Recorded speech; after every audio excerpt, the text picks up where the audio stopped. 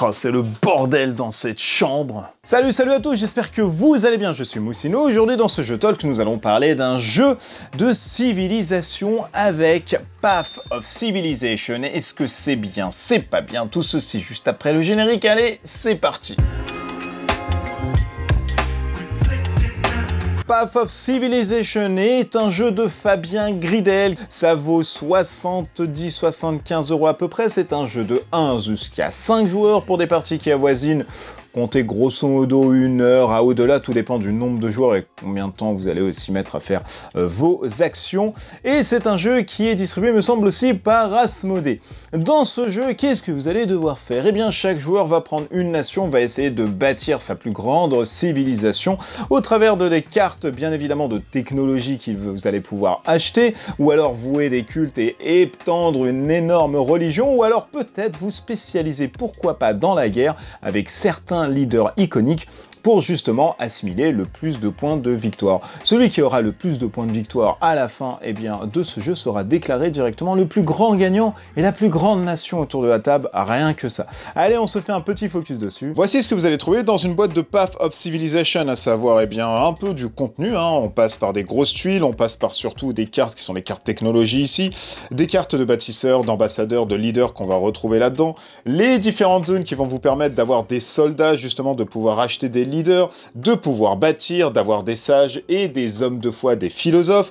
Une zone ici qui vous permet eh bien, de représenter un peu votre on va dire, la, philosophie, la religion un peu de votre nation, les différents événements qu'on va avoir. Donc il y a 9 manches durant cette partie, à l'issue des 9 manches, on fera le calcul de l'ensemble des points de victoire, et celui qui aura bien évidemment le plus de points de victoire aura directement gagné la partie. Ici, vous allez avoir, entre guillemets, la monnaie du jeu, avec les différentes ressources qu'on va retrouver à l'intérieur, votre tablette ici qui représente votre nation et ce que vous allez pouvoir faire, un deck directement et bien générique à chaque joueur, et puis une piste de guerre qui se retrouve juste en haut. Passons maintenant en revue eh bien, ce que comporte une tablette entre guillemets de nation. Vous allez retrouver ici l'ensemble des bâtiments que vous allez faire. Donc quand vous allez faire un bâtiment, vous allez le mettre directement en haut. Ici, c'est un pouvoir spécial et eh bien, pour cette nation. Elle commence avec une population supplémentaire ainsi qu'un soldat. Ici, vous allez trouver eh bien, ce système d'égalité qui va vous permettre de départager entre guillemets quand vous allez acheter quelque chose. Donc vous êtes prioritaire sur du vert, du bleu, du orange, du euh, marron et ensuite sur de la guerre avec du rouge. Ici, vous allez avoir votre population. La population, eh bien, vous permet déjà d'avoir des points de victoire si vous l'augmentez en fin de partie, donc ça c'est plutôt pas mal. De vous débloquer des leaders directement, eh bien ça c'est plutôt pas mal. Enfin, de plus de mettre des ambassadeurs, vous allez voir le pourquoi du comment juste après. Et surtout, cette population va vous permettre de générer des ressources. C'est-à-dire qu'au fur et à mesure que vous allez l'augmenter, eh bien vous allez pouvoir générer au maximum, par exemple, 9, 9 ressources, 8 ressources, 7 ressources, 4 ressources, bien évidemment, elle a une importance. Si vous devez générer par exemple 6 ressources et que vous êtes en 5, bah, vous êtes dans l'obligation de générer que 5 ressources. Et on va retrouver les différentes eh bien, zones où on va pouvoir jouer nos cartes. Vous allez voir, ça va couler de source juste après quand je vais vous expliquer comment se jouent ces cartes, qui vont vous permettre de produire et ensuite de récupérer des ressources là-dessus. Donc c'est le développement et ici vous avez le B, ce qui vous permet de produire des soldats, des philosophes, des bâtisseurs, etc. Vous allez avoir ici eh bien, un rappel des différentes phases que l'on va faire. Donc en phase A, nous allons jouer des cartes. Ensuite, nous allons produire au niveau B. Ensuite, nous allons faire eh bien, notre religion philosophique. Nous allons bâtir et nous allons ensuite prendre des leaders. Nous allons récupérer des ressources. Nous allons prendre et acheter une carte et une carte seulement de technologie. Et ensuite, nous allons faire l'événement jaune ou l'événement de la carte rouge.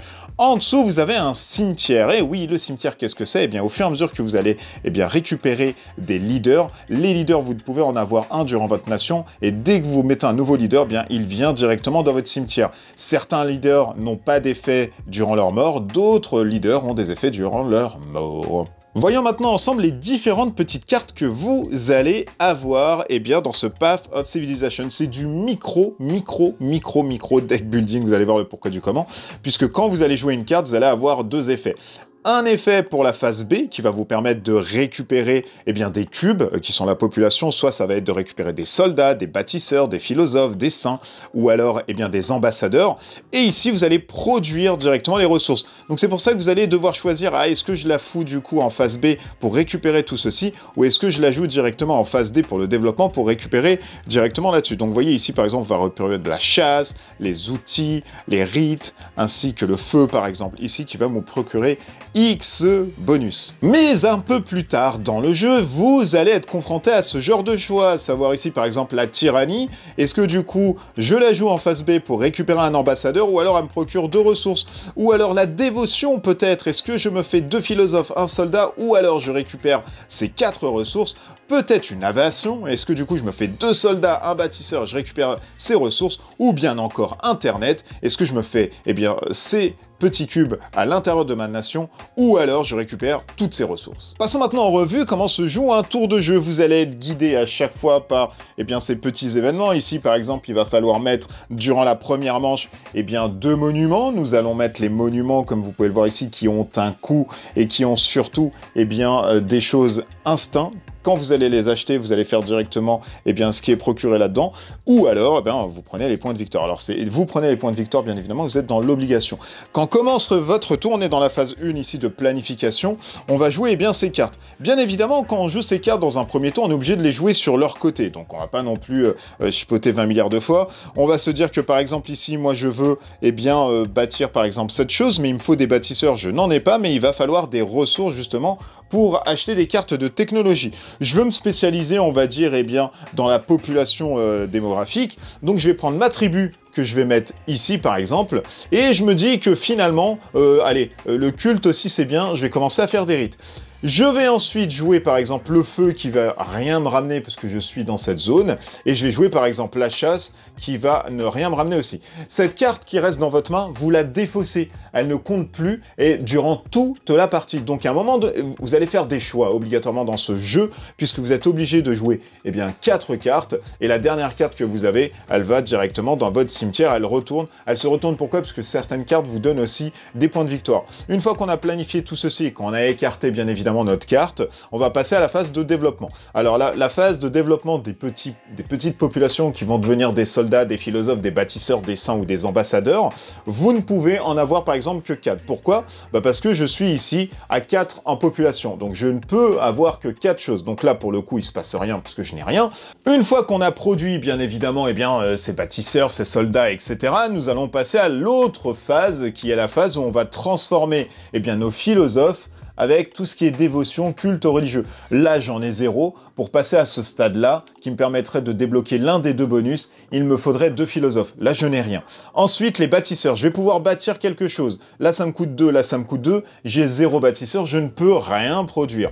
Ensuite, je peux acheter un leader. Donc, on va mettre quelques petits leaders. Vous voyez, là, il y a Euclide. Il va y avoir aussi, eh bien, euh, Aganis de Tessaï. Et vous voyez que sur Euclide, par exemple, vous allez avoir un bonus quand il est en vie, mais aussi un bonus quand il meurt. Et ça, c'est plutôt pas mal. Ça vous permet eh bien d'avoir un bonus jusqu'à la fin de partie. Donc là, pour le coup, on ne peut rien faire. Je vais par contre générer mes ressources. Donc en générant mes ressources, eh bien, j'ai choisi du vert. Donc le vert, je vais l'augmenter de 1 qui se trouve ici. Et ensuite, j'augmente ma dévotion, entre guillemets, et je mets tout ceci là-dessus.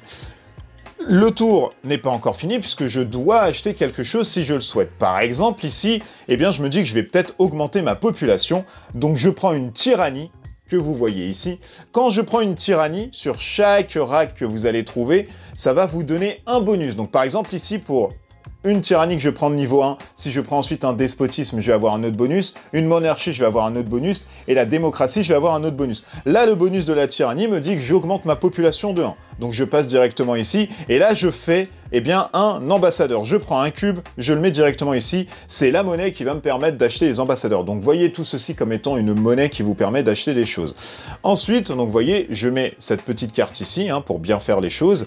J'ai pris mon bonus, j'ai récupéré, j'ai fait un, je me mets là-dessus, et cette carte va venir à mon prochain tour qui va être partie composante des choses que je vais pouvoir eh bien, acheter. Ensuite, on va faire eh bien, notre phase ici euh, de, de, on va dire, de fin d'événements, entre guillemets. Les événements, ça peut être la chute des empires, la guerre des thermophiles, le féodalisme, la monarchie du droit divin, voilà. C'est des choses qu'on connaît un peu, eh bien, dans le monde qui se sont passées, donc ça, c'est assez sympa, ça vous donne un tout petit peu de storytelling. Donc là, en phase 1, alors on va dire que il n'y a rien du tout, c'est pas bien grave. On va passer maintenant à la deuxième phase, donc c'est le deuxième âge, entre guillemets, voyez ça comme vous voulez. Donc là, on va mettre, par exemple, un autre bâtiment. On va nous dire qu'on nous met eh bien deux leaders supplémentaires. On se retrouve avec Théano de Croton ainsi que eh bien Maria euh, Propetissa qui se trouve ici, et on récupère l'ensemble de ces cartes. Et on recommence un tour de jeu. Je vais vous remontrer bien évidemment la chose avec eh bien, cette petite carte là-dedans. Cette carte me permet maintenant soit d'avoir eh bien, un ambassadeur supplémentaire ici qui me permettrait d'acheter Euclide. Donc je vais faire ça par exemple là-dessus. Je vais ensuite eh bien, augmenter hop là, ce côté-là, et je vais augmenter par exemple ma foi qui se retrouve ici. Et entre les deux, je me dis que la guerre, j'ai plus envie de l'avoir. Je vais garder par exemple ma tribu qui va rien me donner, mais qui me permettra quand même d'augmenter un tout petit peu eh bien, ma civilisation verte, mes points de victoire, enfin, mais, euh, ma gestion de monnaie verte. Donc je, je la garde là-dessus. On recommence un tour, donc ça c'est la première phase. La deuxième phase, on produit, donc là je vais produire un. Je suis toujours en dessous de ma limite de 5, donc il n'y a pas de problème. Je mets un petit ambassadeur ici. Je ne produis rien en tribu là-dedans. Ensuite, je regarde, je n'ai pas de philosophe pour la foi, donc il ne se passe rien. Je n'ai pas de bâtisseur pour pouvoir bâtir, il ne se passe rien. Par contre, là, je vais pouvoir acheter, eh bien, par exemple, l'un des trois, l'une des trois choses. Je vais prendre, par exemple, Euclide, et je vais le mettre directement ici, qui me permet, eh bien, d'avoir, hop là, je récupère mes deux, qui me permet d'avoir, eh bien, un bonus en étant vivant, donc les cartes de technologie 3, eh bien, coûte moins 1. Ça veut dire qu'au lieu de payer, par exemple, eh bien, 7, euh, je vais payer directement eh bien 6. Vous voyez, ça vous donne une petite monnaie comme ça, euh, assez... Euh, une réduction, entre guillemets, des, des coûts. Ensuite, je passe à la production, donc je vais augmenter mon jaune ici, et je vais augmenter mon bleu directement ici je n'ai que ça à faire, donc j'ai récupéré deux ressources, je suis en dessous des 5, il n'y a pas de problème encore une fois. Je vais récupérer bien évidemment une carte de technologie que je vais acheter. Admettons que là, par exemple, eh bien, je souhaite acheter des textes sacrés, le culte, pardon. Voilà, je mets ça, je paye indirectement hop, je le fais ici. En récupérant un culte, eh bien, je mets directement un philosophe là-dessus, puisque c'est son bonus. Ensuite, nous allons faire, par exemple, ici, euh, l'événement La chute des empires. Eh bien, l'infini, nous allons compter eh bien, le nombre d'ambassadeurs euh, qui va vous donner moins 1. Ensuite, vous allez avoir euh, ce bonus-ci, etc. À un moment donné du jeu, va arriver une guerre. La guerre, c'est quoi? Eh bien, c'est ce truc-là. Quand la guerre arrive, vous allez avoir une, une, zone ici eh bien, de guerre. C'est votre puissance militaire à celle-ci, donc à cette puissance militaire où j'ai 1, vous allez devoir battre, eh bien déjà, une base entre guillemets militaire qui est commune à tout le monde, qui est de force 3, qui va être ensuite de force 13, qui va être ensuite de force 8, etc., qui va augmenter de force, et eh bien euh, de phase en phase. Bien évidemment, je ne vous ai pas tout mis ici. Hein. Donc là, on a une force 3, c'est la guerre des thermophiles, je suis à 1. Alors on a deux modes entre guillemets pour pouvoir battre eh bien, euh, cette petite bataille qui est de force 3 pour pouvoir prétendre à être le premier et récupérer celle-ci. Si on est deuxième, on récupère ça. Si on est troisième, on récupère ça. S'il y a une égalité, on ignore ce texte-là. Hein. enfin, on ignore une des récompenses. Par exemple, ici, eh bien, si euh, celui qui est le, premier, qui est l'IA, va récupérer ce truc-là, donc on ne peut pas. On va passer directement à celle-ci. Si pour X ou Y raison on ne peut pas, on va passer directement à celle-ci. S'il y a une égalité, par exemple, il y a plein de joueurs à deux, on va récupérer directement eh bien, euh, celle-ci. Donc pour le coup, comment on peut augmenter sa guerre? Sa guerre, on peut l'augmenter en récupérant eh bien, des cartes ici euh, de guerre qui vont vous donner des bonus permanents directement là-dessus, qui vont vous permettre d'augmenter ce tracker. Mais aussi, on peut créer des soldats. Créer des soldats, comme je vous l'ai dit, c'est comme créer des ambassadeurs. Vous allez prendre votre population et vous allez mettre directement des soldats là-dedans. Quand vous allez mettre des soldats, contrairement au bonus permanent, là c'est un bonus éphémère, c'est-à-dire qu'à chaque fin eh bien, de guerre, vous allez les récupérer directement. Par contre, vous avez un bonus assez euh, conséquent, puisque pour chaque cube que vous allez mettre à l'intérieur, eh bien ça va vous donner plus de en militaire. Donc là par exemple, je pars avec 2, 4, 6, plus un 7, je suis grosso modo pour cette guerre ici à 7, eh bien je suis premier, je vais récupérer 3 points de victoire, je vais me mettre par exemple un sage ainsi qu'un ambassadeur directement. Voilà, vous savez grosso modo eh bien, euh, comment se joue euh, ce jeu. Au fur et à mesure que vous allez augmenter dans votre dévotion, vous allez débloquer eh bien, euh, des bonus. Les bonus par contre, secrètement, vous allez le choisir parce qu'il n'y a que vous qui pouvez choisir et qui va l'idée un peu les autres. Donc par exemple, celui-ci, je vais l'enfermer, personne ne sait quel était le bonus. On a un rappel de tous les bonus qui se trouvent ici à l'intérieur, donc ça c'est plutôt pas mal, on va avoir des points de victoire et plein de choses. Et par contre, si un autre joueur devait venir par exemple ici, eh bien il aurait ce bonus-là automatiquement. Donc c'est vous aussi qui drivez un tout petit peu eh bien, les différents bonus que vont avoir les autres s'ils augmentent leur piste de dévotion. Piste de dévotion, bien évidemment, qui peut avoir des points de victoire en fin de partie. Et cette fin de partie, justement, elle arrive à la dernière phase, à la dernière manche où on est à la manche 9. On va, faire par contre un événement ainsi qu'une guerre automatiquement. Donc là, vous voyez, c'est le siège de Leningrad. On va avoir le gouvernement éclairé. Une fois qu'on a fait tout ceci, on compte nos points de victoire. Comment on compte les points de victoire? Eh bien c'est très simple, on va prendre les cartes technologie, on va prendre les cartes eh bien, que nous avons bâties en termes de monuments, etc. Sur la piste de dévotion, nous allons prendre les différents eh bien, leaders qui peuvent nous permettre d'avoir des points de victoire. Vous allez faire tout ceci et ensuite vous allez voir euh, lequel est le plus haut en point de victoire. Eh bien, celui qui est le plus haut aura bâti une plus grande nation dans sa civilisation. Voilà, vous savez tout ce qu'il faut savoir sur Path of Civilization dans les grandes lignes, bien évidemment, comment ça se joue à Story of Humankind. On va parler maintenant des points positifs que j'ai aimé à l'intérieur. C'est un jeu qui est très accessible et très rapide, très honnêtement. Voilà, les tours de jeu s'enchaînent assez vite. Moi, je suis pas tellement friand de ce genre de type de jeu, mais force est de constater que quand on me l'a expliqué, c'était déjà très rapide, hein, 5 minutes, grosso modo, vous savez déjà euh, quoi faire.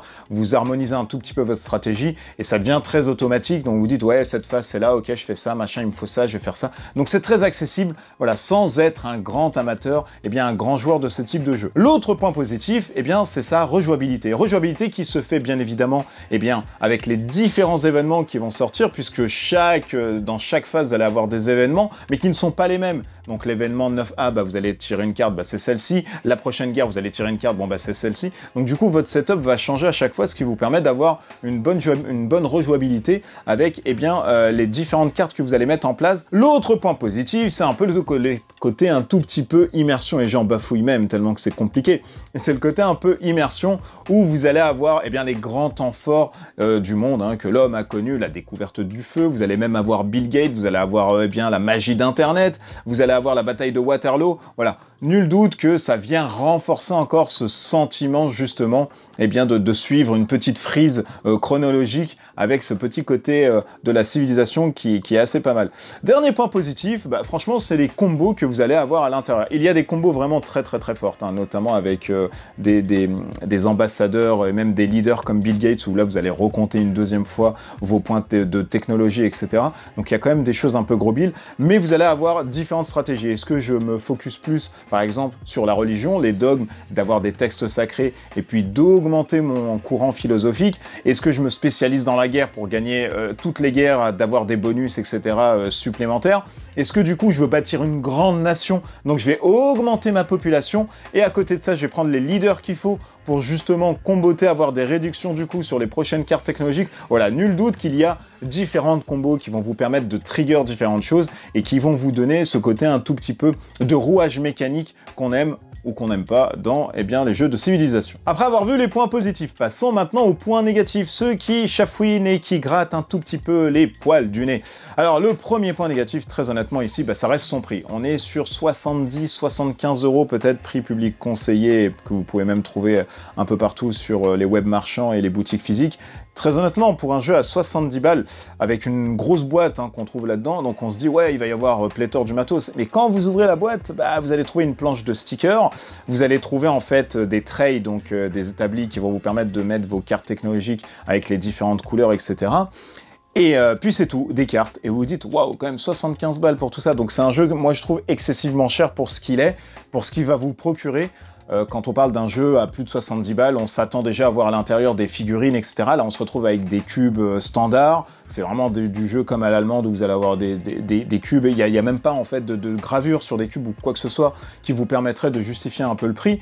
On a euh, une couche de, scoring, enfin sur le tableau de scoring, pardon, on va avoir une couche double layer, donc euh, qui va être incurvée, mais très honnêtement, ça justifie pas non plus ce prix mirobolant, voilà. Moi, je trouve que c'est excessivement cher pour ce que c'est. Autre point négatif qu'on trouve à l'intérieur, enfin moi que, entre guillemets, euh, j'ai trouvé, eh bien, c'est ce côté civilisation sans être un jeu de civilisation. Et là, vous allez me dire, mais qu'est-ce que ça veut dire tout ceci? Eh ben, ça veut dire que tout simplement, moi, quand j'ai joué à ce jeu, je n'avais pas l'impression de bâtir vraiment des civilisations. En fait, j'avais juste l'impression, eh bien, d'essayer de, faire le maximum de combos pour avoir le maximum de points de victoire et d'essayer de faire une sorte de mécanique de rouage qui essaye de comboter avec, euh, voilà, mon, petit euh, euh, microbiote pour essayer d'avoir le maximum de points de victoire. Mais je n'ai à aucun moment eu ce côté un peu civilisation qu'on a par exemple dans les jeux, PC, à avoir par exemple des prérequis pour avoir ça, si tu as ça, tu peux bâtir telle et telle chose.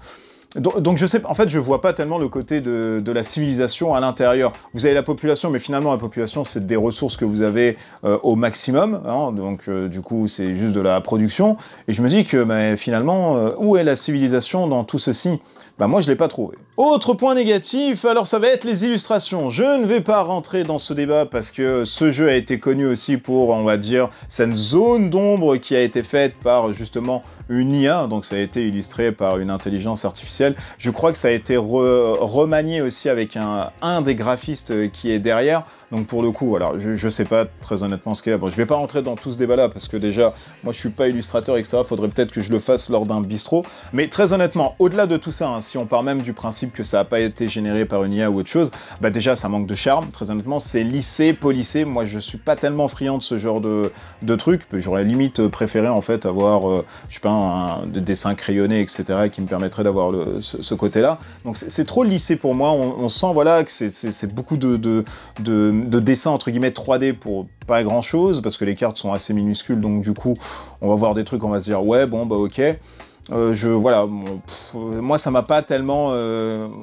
engendré une, certaine perception d'une grande civilisation que j'allais bâtir puisque pour moi c'était très mécanique j'achète je fais ça donc on oublie très honnêtement les illustrations au-delà de ça j'ai pas été charmé par les illustrations à l'intérieur qu'elles soient faites par une IA ou autre chose mais là voilà ça manque d'âme ça manque de plein de choses et j'ai vraiment pas du tout aimé ces illustrations. Autre point négatif que j'ai trouvé à l'intérieur, c'est le manque d'interaction avec les joueurs. Et là, vous allez me dire, mais comment c'est possible dans un jeu comme ça, de civilisation qui se veut un peu machin? Ben, je sais pas. Très honnêtement, moi, je pensais vraiment qu'on pouvait interagir au-delà, bien sûr, de, bah tiens, je vais me positionner sur cet ambassadeur, enfin, sur ce leader, pardon, et euh, moi, je veux aussi ce leader. Qui départage les deux Ah bon, bah c'est toi, ok, je prends, je me positionne sur un autre ou sur tel et tel bâtiment. Bah, au-delà de ça et de la guerre, bah, il y a zéro interaction. Je pensais très sincèrement avoir, euh, par exemple, des... Euh, des, leaders qui vont assassiner par exemple d'autres soldats ou des philosophes, euh, qui nous permettrait un peu d'interagir un tout petit peu avec les différents plateaux des autres, sans avoir une guerre autour de la table, mais d'avoir des petites cartes qui permettraient d'interagir. Voilà, il n'y a pas tellement d'interaction, voire très peu, bah, c'est uniquement les deux que je vous ai cités. Franchement, ça me manque cruellement d'interaction et moi, ça m'a vraiment gêné dans mes parties. Et dernier point négatif, qui est entre guillemets aussi un point positif, vous allez avoir un mode solo à l'intérieur qui vous permet de jouer tout seul. Alors c'est un mode automa, avec le mode automa, vous allez uniquement essayer de dépasser le nombre de points de victoire que vous propose l'automa. Si vous dit par exemple 100 points de victoire, vous devez dépasser les 100 pour gagner directement la partie.